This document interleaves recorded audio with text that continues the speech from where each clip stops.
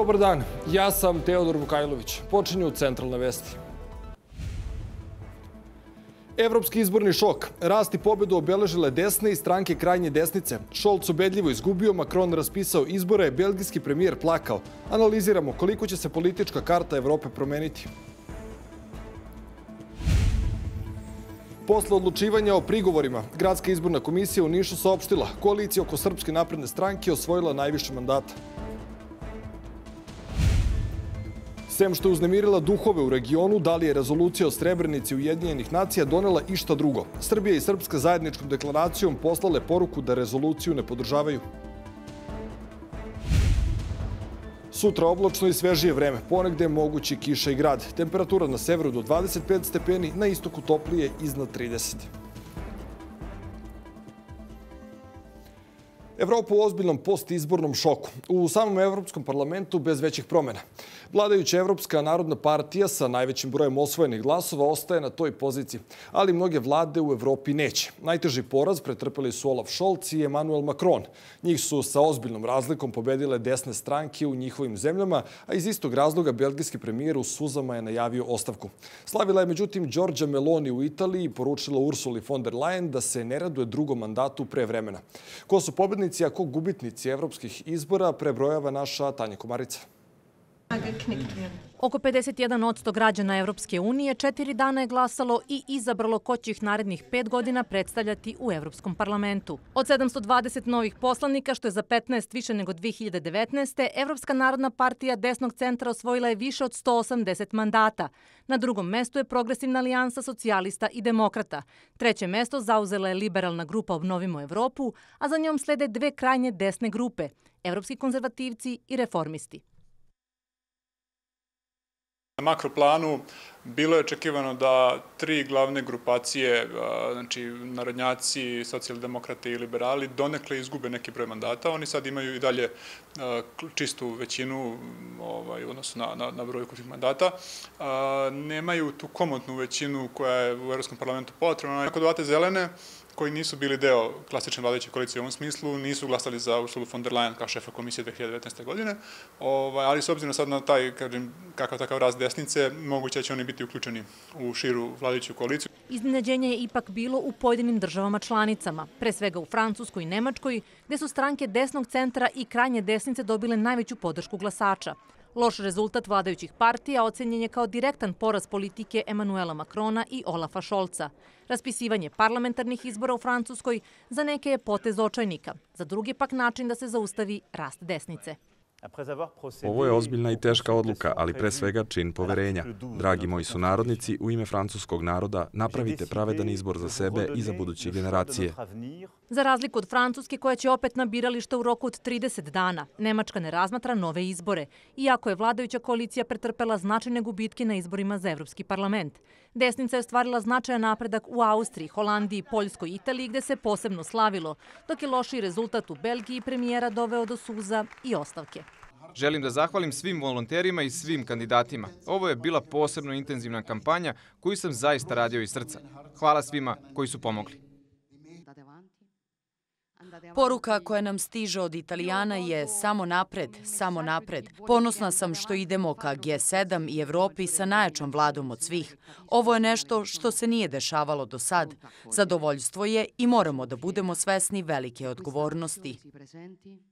Ko će preuzeti koliku odgovornost znaćemo u narednim mesecima kada se bude formirala pre svega Evropska komisija. S obzirom na rezultat Evropske narodne partije očekuje se da će Ursula von der Leyen dobiti novi mandat za predsedavanje koje su pozicije za Srbiju takođe važne. Nama će biti svakako najvažnije ko će biti komisar novi za proširenje.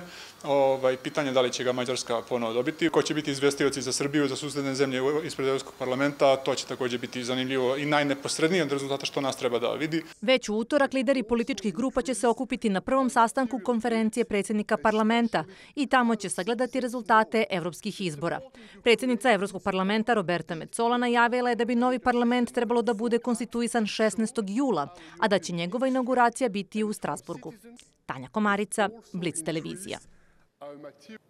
Koliko će se Evropa promeniti posle ovih izbora i u kom će pravcu ići? Da li će desnica, koja je ojačala u najvažnijim zemljama članicama, uticati na promenu najvažnijih evropskih politika o proširenju, migracijama, klimatskim promenama? Možemo li predvideti posledice eventualnog desnog zaokreta u Francuskoj i Nemačkoj? Za Blitz televiziju analizira srpski diplomata Ognjen Pribićević. Izbori za Evropski parlament su završeni. Koliko će rezultati uticati na političku kartu Evropi i u kom pravcu će se evropska politika sada kretati? Promenit će, ali e, ne u onoj meri u kojoj su to neki najavljivali. Zašto? Zato što su stranke umerene desnice, čiji jedan od predstavnika je CDU, dobile dosta glasova, čak neki poslanik i više nego što je bilo, tako da se time napravio jedan balans prema ekstremnoj desnici, ali u celini e, stranke desnice e, ovog centra i ekstremne desnice su dobile više glasova Eh, nego na prethodnim izborima. Glavni problem jeste i dalje slabljenje partija leve orijentacije i socijaldemokratije.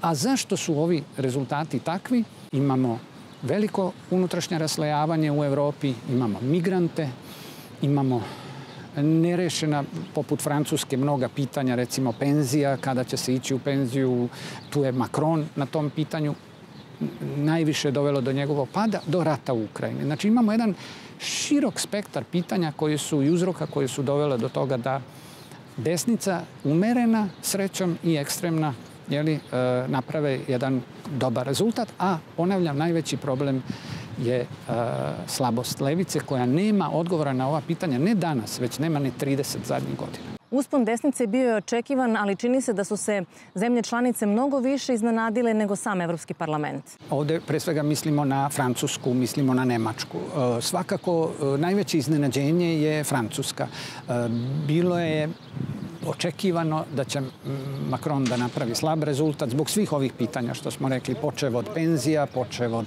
socijalnog raslojavanja, migranata i njegovih dosta radikalnih stavova kad je u pitanju rat u Ukrajini, da pojednostavimo e, stvar, prosto Francuzi nisu spremni da idu u rat na e, neke u neke druge zemlje, ljudi se plaše rata, ljudi se plaše za svoj identitet, za svoj posao i sasvim očekivano, prosto da kažem, e, bilo bi nemoguće da je drugačiji rezultat. Najveće promene desile su se u Francuskoj i Nemačkoj. Oni su stožeri e, politike Evropske unije. Koliko to može da utiče na budućnost evropske politike? Najveća promjena je Francuska i tu sad treba da vidimo šta će se desiti na parlamentarnim izborima, koliko će dobiti e, Lepenova na tim izborima, ali opet i tu treba da sačekamo jer e, videli smo i u slučaju e, italijanske premijerke jedna politika je bila pre.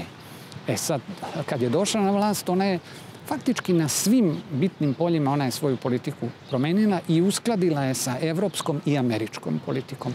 Naravno, ne treba zaboraviti ni to kako će se odviti izbori, završiti izbori u, u semečkim državama i to će u velikoj meri uticati na oblikovanje evropske politike, ali svakako ovo je jedno potpuno novo vreme u odnosu na ono što je obeležilo prethodnih 70 godina. Što ovi rezultati znače za politiku pridruživanja i konkretno za Zapadni Balkan? Tu je CDU koji, naravno, e, zajedno, to je stavovi e, predsednice e, komisije Ursule, koja je rekla da je to jedno od najvažnijih pitanja. Dobro je da je to pitanje stavljeno na agendu, ali treba mnogo više. Nadam se da ćemo ipak smoći kao evropljani snage svi zajedno da nađemo put i odgovore na ova pitanja. Hvala vam što ste govorili za Blitz televiziju.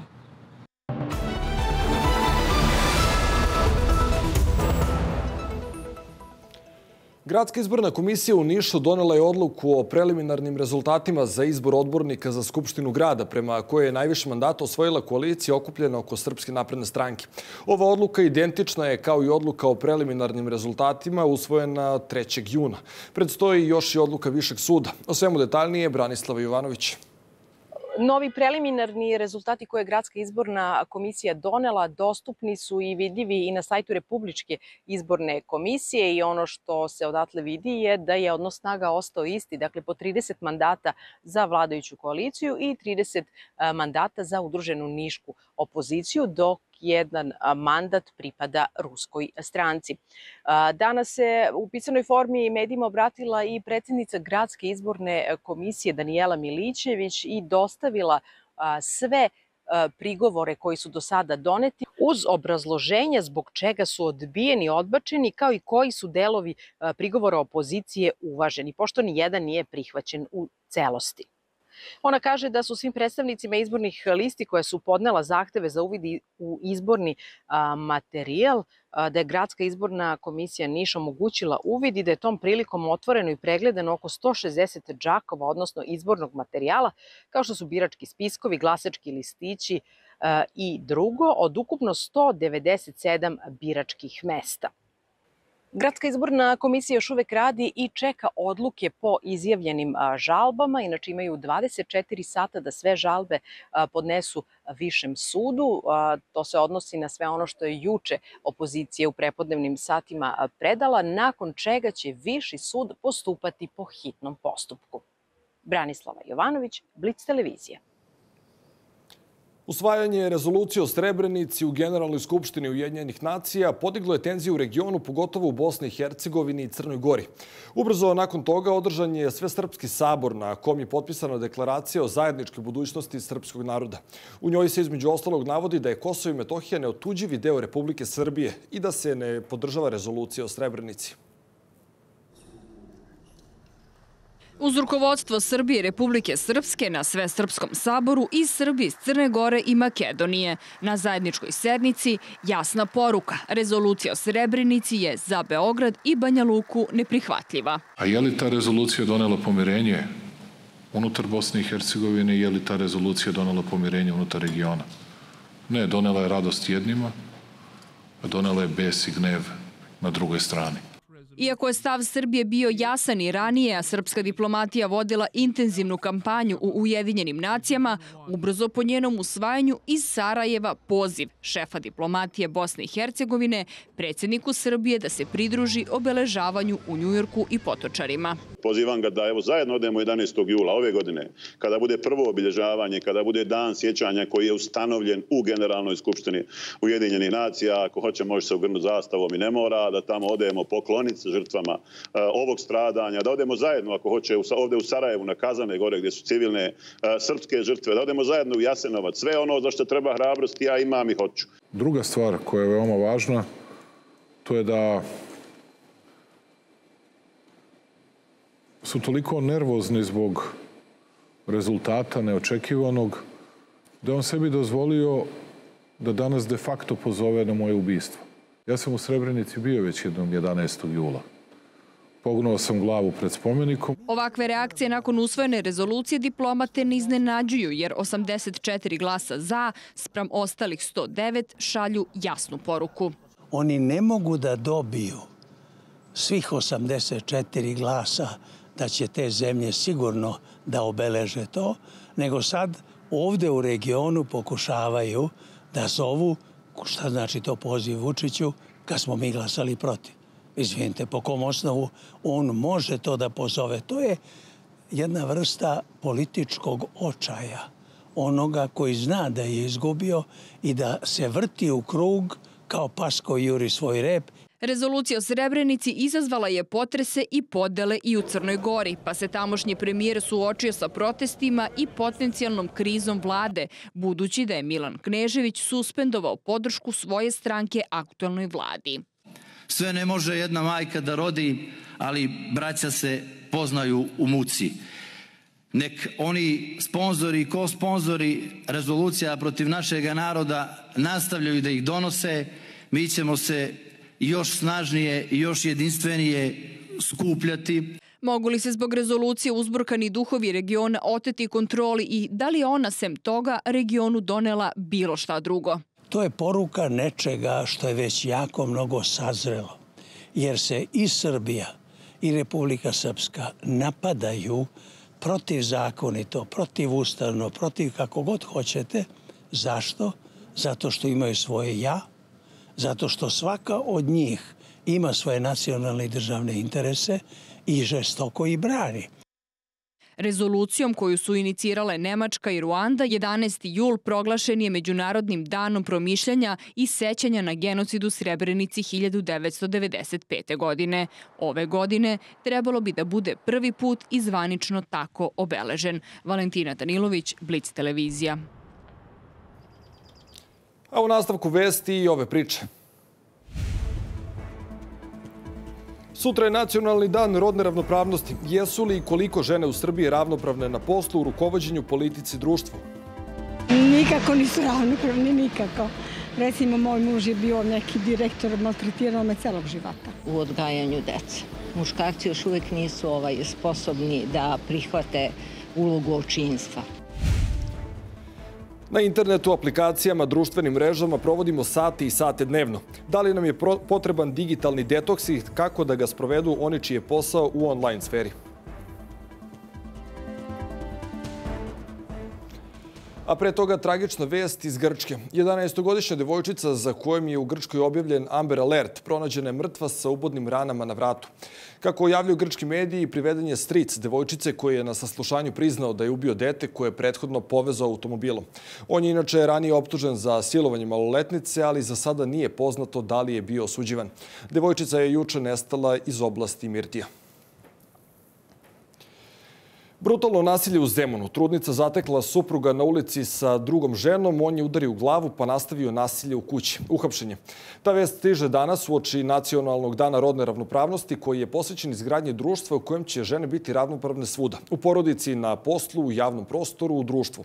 A gde su žene stvarno u Srbiji? Između porodičnog nasilja koje često trpe, neizbežnim teretom kućnih obaveza i borbe da na poslu izdejstvuju poziciju jednaku onoj koju imaju njihove muške kolege. Ravnopravno učešće žena u svim sferama života, mogućnost da se njihov glas čuje, a perspektiva uzme u obzir kada se donose važne odluke, ta borba traje već decenijama. Doneti su brojni zakoni, žene su našle svoje mesto u politici, dobile visoke pozicije, što u državi, što u biznisu. Ali, da li su zaista ravnopravne i živeli životom u kojem imaju jednake šanse, kao i muškarci? U odgajanju dece. Muškarci još uvek nisu ovaj, sposobni da prihvate ulogu očinstva. U toj sferi u kojoj sam ja nije bilo takvih diskriminacija. Pa da vam kažem, ima i u poslovnom i, i ovako i ovako. Nikako nisu ravnopravni, nikako. Recimo, moj muž je bio neki direktor, maltretirao me celog života ćutila, trpela. U svim sferama nekako nismo. To je onako bolno, nekako ženski. U jednoj sferi nismo ravnopravni. Nedavno istraživanje koje je sprovedeno u privatnim kompanijama pokazalo je da skoro 70% muških ispitanika smatra da se žene i muškarci podjednako vrednuju. S druge strane, samo 48% žena se slaže sa tim. Za ženske organizacije rezultati nisu neočekivani jer se muškarci ređe susreću sa diskriminacijom u poslovnom svetu. Mi imamo veoma uspešne žene, žene su trenutno obrazovanije u Srbiji od muškarica, ali problem je taj što nemamo adekvatne e, meri za usaglašavanje poslovnog i privatnog života, a živimo u društvu u kojem i dalje taj, ta privatna sfera, tu gde je briga o porodici, o deci, o drugim članovima porodice i tako dalje, nekako još uvek sam, ono na ženama. Jedan od najvidljivijih pokazatelja rodne neravnopravnosti je nasilje nad ženama. Statistika je poražavajuća. U proseku oko 30 žena godišnje u Srbiji bude ubijeno. Blizu 30.000 prijavi nasilje, a to je kako ističu oni koji se bave ovim velikim društvenim problemom samo vrh ledenog brega, jer se većina žena zapravo ne obraća institucijama, nego nasilje pokušava da reši u okviru porodice ili uz pomoć prijatelja. Kada žena odluči da prijavi nasilje, da izađe iz nasilja, dakle nama nedostaje čitav sistem podrške. Da li ona ima obezbeđenu uh, zdravstvenu podršku i za fizičko i za mentalno zdravlje pre svega, šta će sa decom ako ima maloletnu decu, kako će da brine o njima, čitav niz stvari nedostaje. Dana kojih obeležavamo, međutim ne nedostaje. U maju nacionalni dan sećanja na žene žrtve nasilja, u junu nacionalni dan rodne ravnopravnosti, usko povezani, a nažalost i uzročno posledični. Moramo uvek da imamo u vidu kada pričamo o ženama i kada pričamo o tome uh, gde su žene danas, zato što kada se okrenete oko sebe i pogledate gde god da se ima znači tri, tri, tri, znate da je svaka treća bila ili će biti žrtva nasilja i to je nešto sa čime se muškarci ne suočavaju. Moram reći da je bliže ovom, ovim brojima vezane za nasilje, jer nije situacija samo u nasilju ovako loša. Loša je situacija u ekonomskom položaju žena, one imaju mnogo manje sredstava, mnogo su manje zaposlene, duže čekaju na posao. Naše sagovornice zaključuju, iako smo prošli četvrtinu 21. veka, mi još uvek pričamo o tome kako se žene bore za svoje prava, iako je do sada ta borba trebalo da bude završena, a ravnopravnost dostignuta. Međutim, borba je konstantna, jer ako se malo opustite, niko vam ta prava ne garantuje u praksi. Helena Košutić, Blitz televizija. Šta je prva stvar koju uradite ujutru kada se probudite? Više od 80% ljudi ujutru prvo proveri obaveštenja na telefonu, pa onda započne dan. Telefon je postao neodvojivi deo svakodnevice. Zaboravljen aparat kod kuće, razlog je za paniku, a mnogi poslovi i zanimanja danas podrazumevaju da ste uvek dostupni. Koliko su nam telefoni ukrali od međuljudskih odnosa i komunikacije i da li je digitalni detoks preko potreban svakome od nas, istraživao je Nikola Tucović. Oko 250 ljudi okupilo se u prirodi, ostavilo po strani mobilne telefone, čitali su knjige, slikali, družili se, upoznavali uživo jedni drugi. Ovo nije radnja nekog filma, nego projekat jednog holandskog offline kluba koji se događa u vremenu kada u proseku na telefonu provodimo više od 5 sati dnevno, pokazuju istraživanja. Neretko, tako započinju i dani. Kad ustaneš ujutru, prvo pogledaš na telefon da vidiš notifikacije ili kako kreće? Odmah pogledam notifikacije. Prvo pogledam telefon jedno pola sata, onda ustanem da oročkujem i dalje s telefonom. Isto ležem s telefonom. Ti izađeš sad napolje i zaboraviš telefon, kako se osjećaš? Pa više uspaničeno zato što bi me majka ispribijala nego išta, ali mislim da mi ne bi bilo toliko strašno. Ajmo realno da je i i su poslovne stvari sada u tom smislu da je tehnologija napredovala, tako da mislim da generalno život ne može da se zamisli. To svi koriste, koristim i ja naravno, ali nisam zavisan. Stariji kažu da nisu zavisni, iskusili su život i bez pametnih telefona. Mlađi nisu sigurni kako bi funkcionisali bez njih. Telefon je promenio način na kojim funkcionišemo. Sa jedne strane imamo korisnu alatku, ali je rizik što dosadu, usamljenost ili frustracije lečimo uz pomoć telefona, naglašavaju psiholozi. Telefoni generalno menjaju dosta način na koji se koncentrišemo, u principu kvare nam fokus. Zašto? Zato što da bismo mi bili fokusirani na nešto, potrebna nam je motivacija. To su sve izvori jednog instant zadovoljstva. Samim tim, vi ukoliko možete da dobijete neko instant zadovoljstvo ili razbibrigu nakon klipa od 15 sekundi, zašto biste se trudili da odgledate nešto što traje 10 minuta. Sa druge strane, telefon je velikom broju ljudi i oruđe za rad. Verni saputnik i desna ruka upravo je taj pametni uređaj, a to zna da bude izuzetno zamarajuće, govore nam oni koji od rada na društvenim mrežama zarađuju.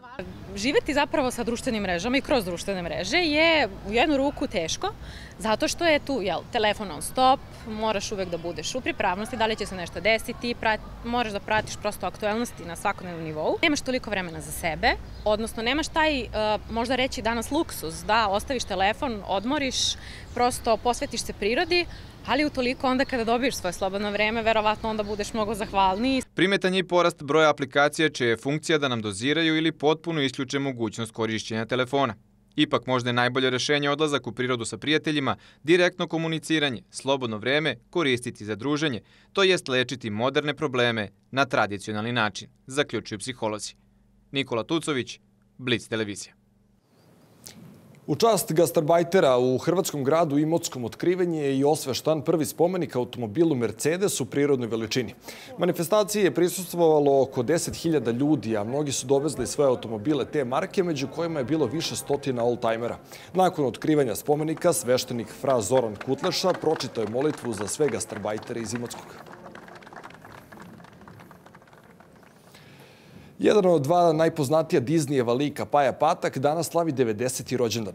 Njegov animirani otac opisao ga je kao problematično dete, ljutitog, ali šarmantnog Patka, naročito uz devojku Patu, sestriće Raju, Gaju i Vlaju i bogatog, ali škrtog strica Baju. 2004. godine Paja Patak je dobio svoju zvezdu na hollywoodskoj stazi slavnih. Time je krenuo stopama svog rivala Mikija Mausa. I za sam kraj današnjih vesti detaljna vremenska prognoza.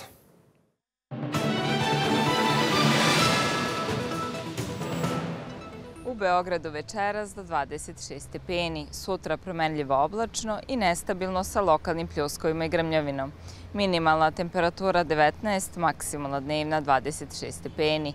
Ostatku naše zemlje sutra mestimično oblačno, ponegde povremeno sa kišom i pljuskovima sa grmljavinom. Duvaće slab do umeren severozapadni vetar. Minimalna temperatura 10 do 20, maksimalna dnevna 32 stepena. Pratili ste centralne vesti. Hvala na pažnji i ostanite uz naš program. Sledi emisija Jasno kao dan. Prijetno večer.